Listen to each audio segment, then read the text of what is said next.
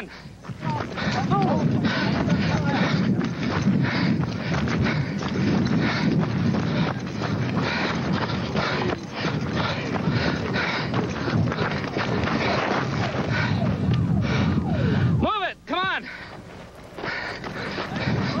As the amateur photographer continued to run, the ground kept cracking on the path leading to the observatory. The earthquake did not injure anyone at that location.